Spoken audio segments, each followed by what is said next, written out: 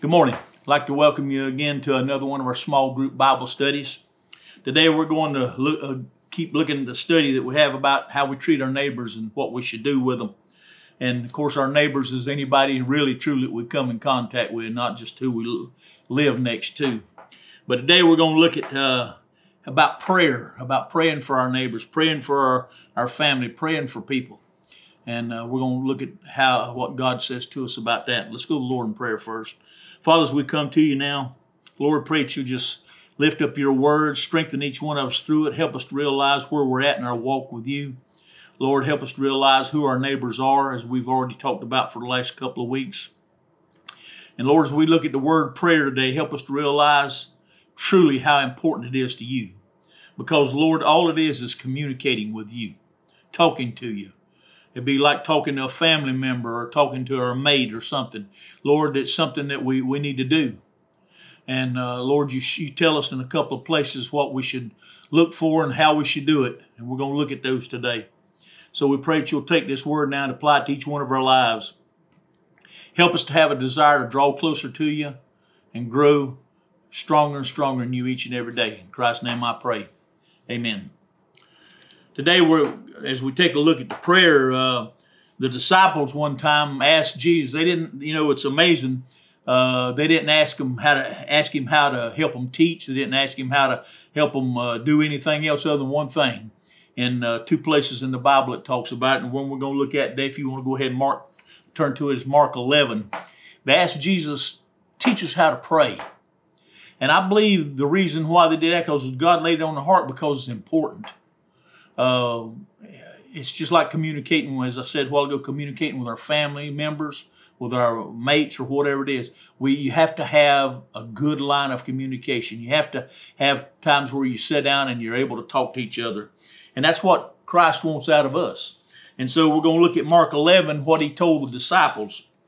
Mark 11, and uh, excuse me, Luke 11, I'm sorry, Luke 11, and we're going to start in the first verse of Luke 11. It says, Now it came to pass as he was praying in a certain place, when he had ceased praying, that one of his disciples came to him and said, Lord, teach us how to pray, as John also taught his disciples. And so the Lord said to him, Whenever you pray, this so this is this is the sample that that the Lord Jesus Christ Himself gave him. He was he, he prayed to the Father all the time, and they, they were one, but he still prayed to the Father all the time. So it was very important that he prayed to the Father.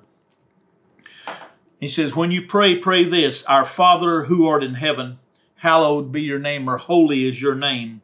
And you notice the first thing he talks about is, is the relationship between us and who our, who, our, who our Father is in heaven. We need to have above everything else that we have a relationship with, no matter how important our, our relationship is with our mate, with our children, with the people we work with, no matter how important it is. The most important relationship we'll ever have is with our Father in heaven. So he says, Holy be your name. In other words, Lord, you are the only one who is holy. He says, Your kingdom come and your will be done on earth as it is in heaven. This is one of the things when we pray in our prayers, and we're going to look at several kinds of prayers today that, that's mentioned in, in uh, the book of Timothy. But when we pray, we should keep in mind that above everything else, God's will needs to be done. And it's going to be. We don't, we don't have to pray for it so that it happens. We don't have to do that because God's, God is God and He's going to make it happen anyway. But what we need to do when we pray is line ourselves up with what God really wants out of our life. And when we get to the point where we're praying in God's will, we can have a, any, anything we want to ask, ask done. Because when we get to where we're praying in His will, it's what He wants to start with. And so what He tells them here first thing is pray to the Father who's in heaven, that His name be holy, and that his will be done here on the face of the earth. And then he says, give us this day, or it says, give us day by day our daily bread. In other words, there's some things that we're going to look at here in a little bit, but one of the things it says here is that we need to look about our daily substance. We, we need to realize that we need to ask God for it. He's going to supply it. He will supply it. But it's one of those things we need to thank Him for it every day, realizing here in the United States, we don't get to see many days where we're truly hungry. even even people who are having a struggling time right now. And I know there's some families out there who are who really struggle, but it's not like in countries where where they're having uh, so so many disasters and everything going on that there's absolutely nothing to eat and people don't eat for four or five days. That's not what we face here. But we need to thank Him every day for what He does provide and ask Him to continue to provide it each and every day. So he says, give us our day, our, our daily bread. Even the, even the children of Israel, when they were in the wilderness, they were there for 40 years. God fed them every day. Every day he took care of them. And he told them that he would.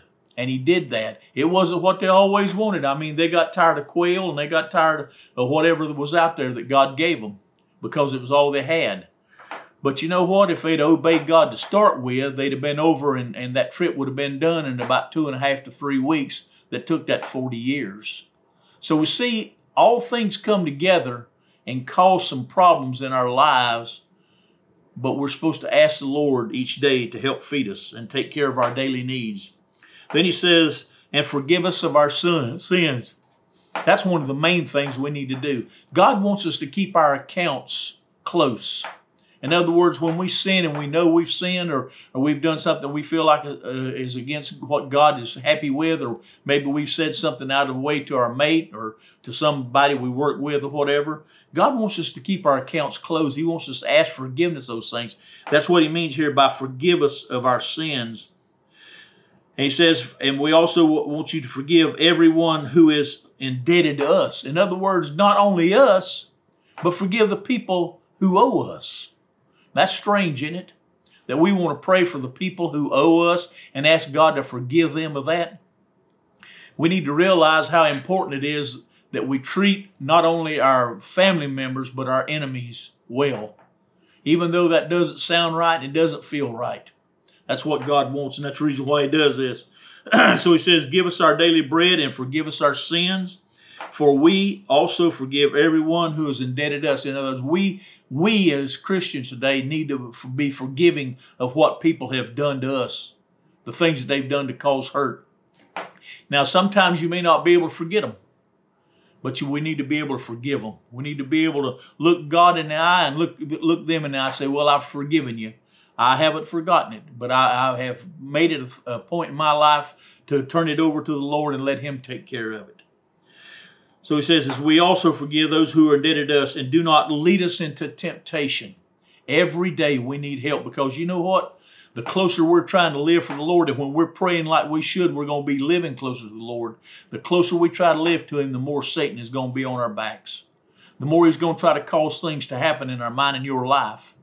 And so he that's the reason why he says here that we need to do that. Don't lead us in, don't allow Satan to lead us into temptation. Give us the strength each and day to stand up to what he's wanting to do. Because that's exactly what Satan is wanting to do, is lead us into temptation so we fall short of what God is uh, uh, wanting us to be. And he says, but deliver us from the evil one, and that's Satan. And you know what? Here's the thing about Satan. He's very knowing. He knows a lot about us, and he knows every one of our weaknesses, and that's where he hits us. He doesn't hit us in our strong spots where we're real strong and we don't we don't even it's not a temptation to us. He excuse me. He wants to hit us where we're really tempted, where we can be tempted. And what we need to do is ask God to help protect us in those areas. We all know where a lot of them are. So ask God to help protect us. Now let's turn to, to the first Timothy. And let's look what uh, God has to say to us in the, in the book of Timothy. Because when he's talking to Timothy here in the second chapter, he's wanting he's wanting to praise Timothy for what he's doing there, uh, where he's teaching and preaching.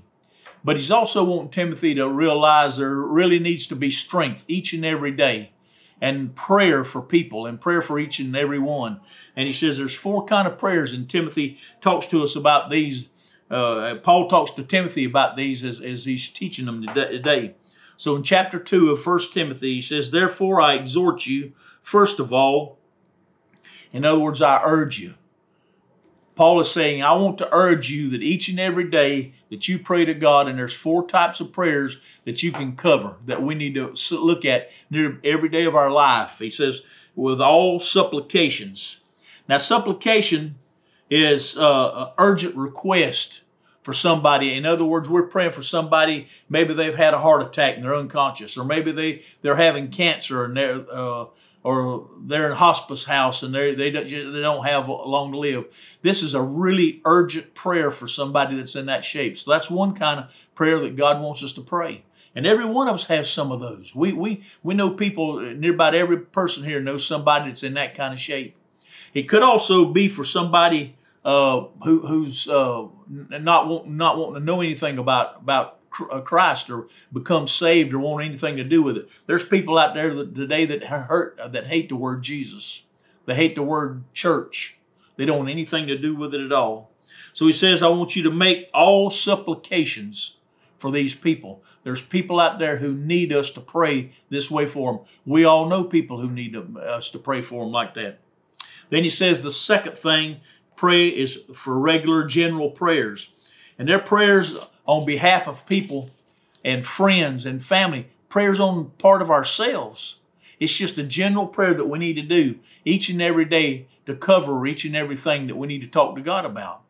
And why wouldn't we want, if, if, if we, you know, to go to our boss man, we need to talk to him about something with a job, or you go to part of your family and you need to talk to them something about that. Prayer is just a natural thing to do, but the people don't want to do it because it's talking to God they, they think it's a waste of time. But God says it's not. It's not a waste of time. Matter of fact, God loves for us to pray to Him. He wants us to talk to Him. He wants us to spend time. We can learn a lot from God by reading and looking at the Word of God. But we also learn so much by talking to Him. Because listen, when we talk to Him and we ask Him things, we, we can get answers. I've, I've seen times, especially in the Word of God, where I had no idea what God was really wanting me to see out of that and say, God, would you show me? And if you will, if you'll ask Him that, He will. So general prayers, it's for, for our leaders our, of our nation, for our president, uh, for our leaders here in Okeechobee. It's for leaders and people who are in charge, our pastors, our Sunday school teachers, we're supposed to be praying for all them. General prayers about their well being, about God using them, and about God watching over them and their families. Those are the general prayers. So you got supplications, then you got general prayers. Then the third thing you got is intercessory prayer. It's probably one of the most important ones of them, although all of them important. Intercessory prayers means you're praying for somebody who can't pray for themselves or they won't pray for themselves somebody, like I said a while ago, that's that's uh, unconscious or uh, sick in the hospital or so weak they can't pray or so many things going on with them and, and, and things in their life and they they just they they a lot of them who are unsaved they they don't want to be saved. But you know what? We've all got family members that probably don't care anything about being saved. I've got family members who don't really care about it. But you know what they're the ones we need to be praying for we need to we need to pray that God will help change their mind. That's the reason why prayer is so so important. They may not pray for it, but you can. You may have friends who don't want to talk about the Lord. You may have friends who don't want to talk about the any parts of the Bible or they don't have any use for it. Pray for them. Pray for them that they will change their mind, that they will come to see why it's so important that they know about what God wants out of their lives. So that's uh, another one of the prayers. Then the third one is a prayer of giving thanks. We have so much here in America to give God's pray, God praise for. The first thing we need to praise Him for is our salvation. Thank Him that Christ came down and died on the cross just for us. That He was willing to give His life, and He was willing to give it before the foundations of the world were ever laid. That, uh, that just blows my little old puny mind. It does. That God would love me enough that He would send His Son down to die on the cross some six, 7,000 years before I was even born, God died for me. Christ died for me on the cross. And I need to praise Him for that. We have so many things in our life. We and then uh, we was talking about the prayers that we need sometime when we need things. There's so many things that we need to praise God that we have nowadays. We're so blessed. We're so blessed in this nation, and we need to praise God each and every day for it then for for what he's done in our life as far as furnishing things and and supplying our needs and everything every day we need to thank him for that let him know how much we appreciate him taking care of us Now, He may not supply everything we want, but He supplies all of our needs. And we need to praise Him for that. So let's go back to the very first of this chapter. It says, Therefore I exhort you, first of all, on for the, that supplications, prayers, intercessions, and giving of th- things, giving of thanks be made to all men, for all men and to all men. He's, he's talking about each and every one of us praying. There's a lot of people have hard time praying. It's absolutely nothing but talking to God. Absolutely nothing but talking to God. Just like talking to a friend. Just like talking to a family member. Only thing is you're talking to God.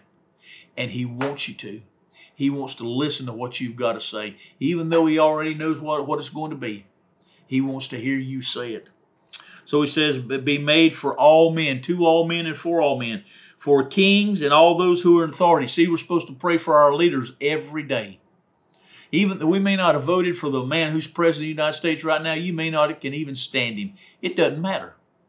As a Christian, we're supposed to pray for him. Same thing with some of the people on our city or, or councils uh, and uh, county commissioners or in place of power around and, and maybe, maybe even just your boss man sometime. God says we need to pray for each other. We need to pray for each other each and every day, especially those who are in authority. And pray that we may lead a quiet and peaceable life in all godliness and reverence. This is one thing Christ can really help us with. He can see to it that, that this happens. He, he, he can help us get to the point to where things are peaceable. You've seen people in turmoil and things going on, and it seemed like they didn't have a care in the world. One reason why is because God gives them the peace. That's one great thing that He can give all of us. No matter what's going on in our life, no matter how bad it is, how rough it is, we can always go to the Lord and ask for peace in our life. And He says He's willing to give that. So he says in verse 3, For this is good and acceptable in the sight of God, our Savior. You see, God, God wants that. We're not bothering him. We're not bothering him. Uh, in, in Roman days, when all the Greeks and philosophers and everything were there, they, they didn't want to pray to their gods they had because they thought they didn't want to bother them. It was going to be a real bother if they tried to talk to one of their gods that they were serving at the time. But listen, the true and living God and Jesus they want, they want us to talk to them. It is not a bother. It is a great deal. It's just like sitting down with a family member you hadn't seen in a while and having a good conversation, or sitting down with your family at night around the table and having a good conversation. It's good. And that's what God wants out of us. For it says, This is good and acceptable in the sight of God, uh, our Savior, who desires that all men, first of all, to be saved and to come to the knowledge of the truth. That's what He desires out of everybody. When Christ died on the cross, he died for everyone. And he desires all of them to come to the truth. It says, For there is one God and one mediator between God and man. That's the man Christ Jesus, who gave himself as a ransom for all of us to be tested in due time, for which I was appointed a preacher and an apostle. This is, like I say, this is Paul talking to Timothy he Paul says, "Listen, this is what." And remember, God struck him down on the road to Damascus. He was he was fixing to go into Jerusalem and, and go into Damascus and have people arrested and everything for worshiping God. And God says, "I'm going to use you. I'm going to get your attention." So he struck him down road on, on on the road to Damascus and struck him down blind. And he asked him, he says, "Why are you doing this against me? I'm the true living God, and you're out here persecuting me."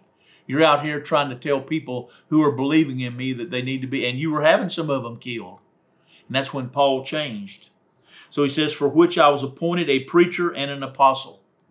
So he says, I am speaking the truth in Christ and I'm not lying. I mean, Paul was Paul was really uh, the type of person who was out trying to get the Christians killed because he was he was a, truly a devout Jew and believe believe that the Jewish uh, word that they had for each and everybody was exactly what God wanted.